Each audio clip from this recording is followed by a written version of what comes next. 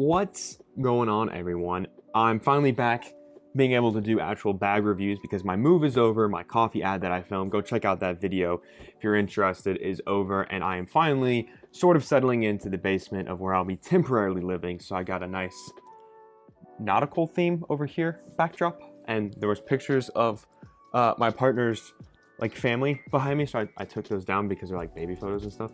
Um, but that's not what we're here to talk about. We are actually here to talk about this is the new bag called the Captain from Pursuit Retro. Now, I actually did their original bag way back when, and I was gonna do like a comparison thing, and I still will, but not in this video just because my stuff that was shipped across the country has not arrived yet. So, but this is in a killer bag made from great materials, wonderful hard uh, hardware, has insanely good uh, organization, comfortable, great for people that want to use camera gear or other photography or videography equipment. Also is good as a bigger, kind of larger sized day bag and is super fun to take on hikes. Let's get into it.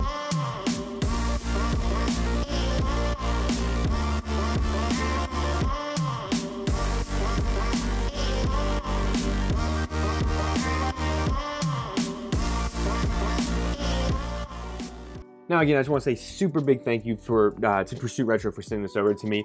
I was I was a big fan of their first bag. I really liked it. There were some things that I wish were a little different. The main one actually being the material. So when I saw the Captain and it has this nice rubbery uh, AquaGuard YKK zip kind of material and hardware and stuff, I was super excited because I think that material is definitely more fitting for a bag that is designed for what this one is meant to do. I'm gonna walk you through all the pockets and organization and everything. I have it kind of loaded out how I would take it if I was going on a photo shoot or going up in the mountains and maybe taking some video and everything. And I'm gonna walk you through all that. But one of the things that I wanted to point out first was the back of this bag. More specifically, this very um, comfortable and what I would almost call unique back panel, right? So you've got a lot of bags will just do like the air channel in the middle and the foam on the sides. You've got a secret pocket back here. I never ended up really using it. You've got a luggage pass-through strap above that, but you got two or three technically nice foam panels with a nice like T upside down T-shaped uh, like air channel going on here. Super comfortable up against my back, very breathable. One of the things that I did in my move is I had um, see one, two, like three or four bags that I took with me in my actual car when I drove across the country. The rest of my collection was actually in the pod. So I wanted to keep bags I knew would be useful. So when I was taking videos and filming and I actually went up to uh, upstate New York, this is my backup camera gear. The main bag that I use now for my camera gear is the Mission Workshop Rake but this had all my other camera gear. That's like my mobile, this is like my home base kind of thing, like my lights and setup and stuff like that. And it was very comfortable. I like this back panel. These straps are minimal with foam, but not too minimal that again, they're so thin that it hurts your shoulders when you're wearing it, but not too beefy that they become kind of cumberbumsome. So overall, the whole harness system and back panel of this bag is a very solid and comfortable rig that you have going on. Then in terms of handles on this bag, you really only have this one, it's kind of like seatbelt material up here at the top. You don't really have anything on this side because that's your quick access into the camera cube, which we'll get into. And then on this side is what is technically your water bottle pocket. And I have, this is my new water bottle. I'm always getting new water bottles. Fits in there nice. You can actually adjust this so you can make this a little bit bigger. It has um also the ability to be zip zipped so you can kind of like if you wanted to hide it away make it a little bit more flush with the bag you can or you can unzip it and then undo this strap and actually can fit some larger water bottles in there if you wanted to. On the note of being able to compress you have four or i'm sorry three technically compression straps. You have two on this side that can compress and then one more up at the top up here that can compress. If you want to keep the top nice and tight and you also see there's a drawstring on the inside. Keeps everything kind of in its place, which is, is pretty nice, especially on a bag like this. You also have um, little strap loops down here for like tripods and stuff if you wanted to use that. Um, they're not at the bottom of the bag, right? They're like at the front bottom, which is different, right? A lot of bags put that at the bottom, which can be nice in some ways, but in some ways, if you have your tripod on the bottom and you go to set this bag down, you have that tripod that's like making it rock and stuff. So I actually liked the idea of having this tripod and like my GorillaPod or even like my light stands like at the front of this bag but not on the bottom, right? That was, I think it's a very thoughtful and um, I think it was a really good call on their part to put that here at the front. Also here at the front, you have their logo, which I have to admit is very, I, I like the mount. It's very minimal. Honestly, I would probably, what I would do instead of having this like black rubber thing, I would just etch this logo right into the bag and I think it would look really solid. It almost looks a little weird sticking out like that, but I mean, it's a logo. It's not like a make it or break it kind of thing. On the quick access, right, I'm not, I don't have it set up to where, so you can open this panel, right? We've seen this on a lot of bags, Wandrd Prvke, Boundary Supply, Prima, tons of bags have this quick access. Here's the camera cube. You can rig it. There's um there's a spot here for extra organization on the door, but you can also fold the camera cube door into this so when you open this, you have complete access to the camera cube. Sometimes I'll do that. Most of the time, it just depends on the situation. If I know I'm gonna be getting a lot of access to my camera, I'm also at the point now where if I'm getting into my camera, if I'm pulling my camera, I'm putting it up a lot, I'm probably just gonna throw in a neck strap and just carry it with me wherever I go because at that point it's easier than getting in and out. But I do like, especially if you take the camera cube out and depending on how you want to run this gym bag, everyday work bag, you have access to a majority of the main compartment. So towels, jackets, things like that are easily accessible. And that's why I like this on bags more so than to get into the camera cube. I like that I have access without having to, especially on a bag like this, we have to unclip two clips, open it up, possibly undo a drawstring. I have access right here. I don't have to go through all those steps that I think are a little bit tedious to get something simple out of the bag. So again, saw this on their original bag that they had, and I am a big fan that they also included on this one. It looks a little bit bigger in my opinion, and also includes this mesh on the outside. So with this though, you'd wanna be careful because if you swung this bag around, right, and you had it in front of you and you went to go open this, whatever you have in here could potentially fall out. So that's one thing you also want to keep in mind. Can I just also say it's really good to be back filming these. It's been a couple weeks since I filmed a natural bag review and um, I missed you guys.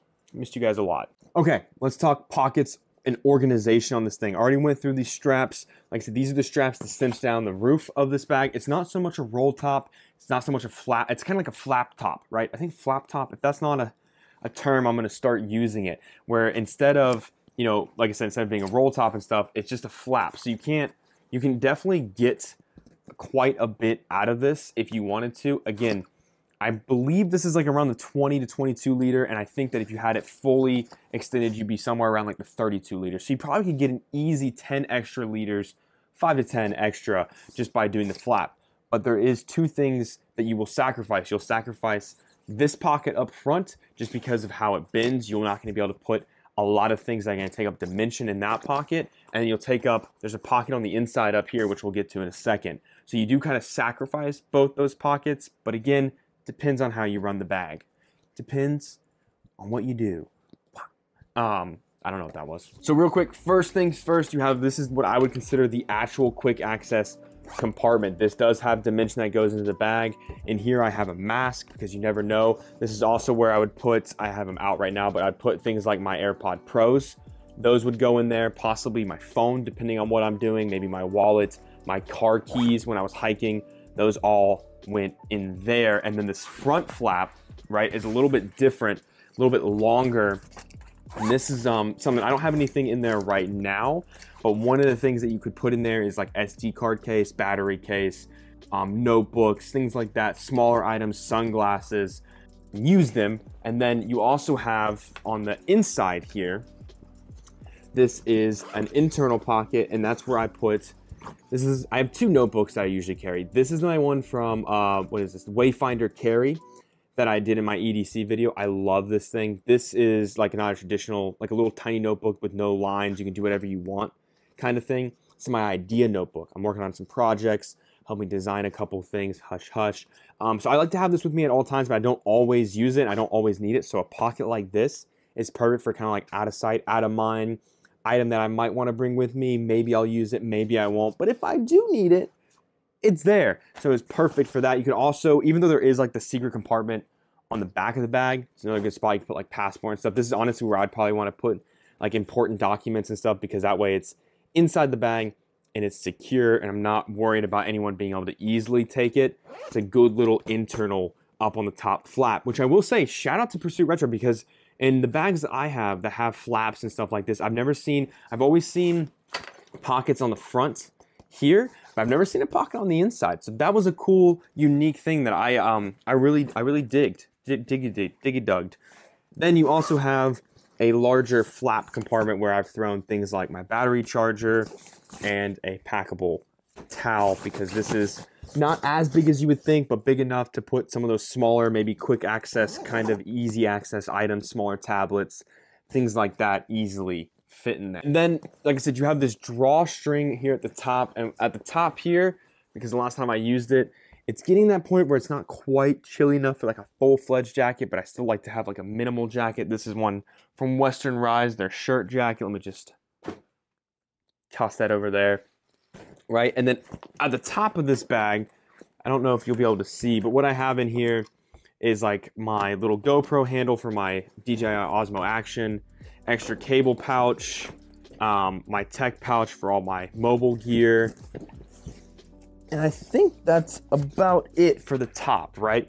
The thing that's in there now is the camera cube. So little pouches like this fit really nice on top of the camera cube inside of this bag. And I quite dig it a lot that you have, again, that option. And you can see this flap right here. That is the um, quick access on the back that I told you about that will eat up dimension on the inside. But there is a pocket in here I'm not going to be able to show you with my main camera, so I'm going to try to film the inside where it has just a little bit on the front, and that's where I've stuck my battery chargers right here. So easily spot to put things that I need. These are my, I'm sorry, I said battery chargers, extra batteries and um, SD card case. Easily fit right there in that little pocket. Honestly, kind of perfect because they're right there at the top. So if I open this, I can get to them. I don't have to look for them, but they're not taking up too much space. They're not inside a pouch because they fit perfectly in there. So I really like a pocket that'll accommodate an item like that. Okay, now, because it's gonna be easier to show you, if I open up, you do have the ability to get full access to this bag. If you lay it down, there is a zipper on the back here that opens all the way around so you can kind of open it clamshell style, right? And then that is where you get your tablet and laptop sleeve. Very basic, very simple, off the bottom of the bag. Solid, nothing crazy. And then inside here, if I can spin this around, you will see this is the main part of the bag, right? So there's actually a flap that will cover this if you want, but that's where the um, camera cube, which I'll show you that in just a second. But this is, so you have a flap here, and you have another flap here. There's actually, um, uh, da, da, da, there's a divider in here somewhere. Oh, right here at the back. So you can actually, if you wanted to, to keep it divided. You could easily do that. And then back here is another pocket, right? So you got the pocket up top where I put my SD card and battery.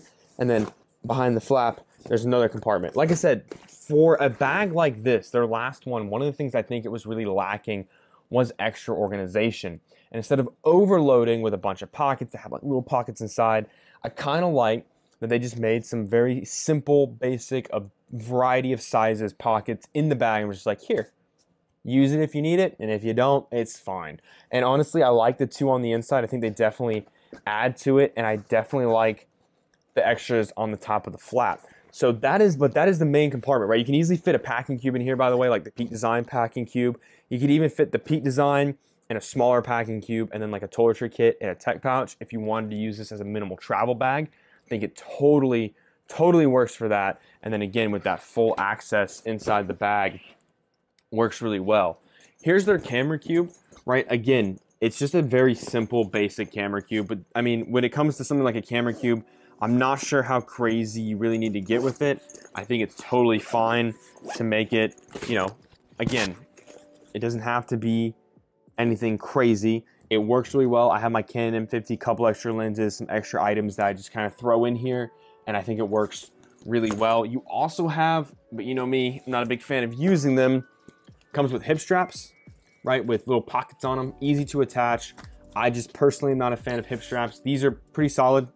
Um, they feel comfortable, uh, nothing crazy. I did try them on, but again, just never pack my bags out of this size to really justify having little flappy bits but I do like that they are easily removable. And that is pretty much it when it comes to the Pursuit Retro Captain bag. It also comes in a fancy white color, which I'm, ugh. So white bags, right? Tan bags, big fan, but like they always get super dirty for me, especially with what I'm doing. So if you weren't gonna take it out on like hikes and stuff, I would shoot for the white. Super solid looking, love it quite a lot. Very nice bag, very well built, full of good organization. I feel like it works really well as a camera bag. It is a little bit similar to other kinds of bags of this nature that we've seen, but I do think they've done enough to kind of stand on their own with the extra organization and with some of the different hardware and ideas that they put into it, where it does stand out a little bit from some of the competition. But overall, I think it's a very solid, solid bag. So if you have any questions, comments, or concerns about this bag, let me know in the comments below and I'll do my best to answer those for you. Um, shoot me an email, odiematthewsbags at gmail.com. If you'd like to have a chat, suggestions, lists, anything like that. You can also support me on Patreon. I'll link it um, in the description below if you want bonus content, extra videos, and giveaways, things like that. It has been slacking the last couple weeks because I've been in the middle of moving and stuff, but we're about to get back on track with that. Huge thank you to my Patreon supporters. Um, leave a like, subscribe for more nonsense. Thank you again to Pursuit Retro for sending this out to me. I really appreciate it. Um, it's pretty solid. And other than that, I will see you next time.